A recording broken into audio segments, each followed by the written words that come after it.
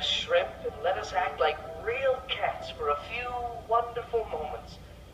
Most of all, she offered us her friendship. Well, Sagwa, I was wrong. I apologize. And now, Sagwa, we must go.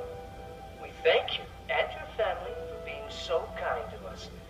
We are very grateful for your generosity and very envious of the life you lead